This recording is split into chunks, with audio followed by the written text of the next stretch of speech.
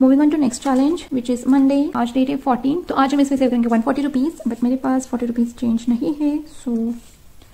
I have to see what I can do now I'm going to take this uh, 200 take out 50 uh, next time हम 10 रुपए को adjust कर लेंगे. Now let's count. 500,000 15 2000 253 354 2500 5200 300 320 so तक हमने इसमें save किया है 3300 320 रुपीस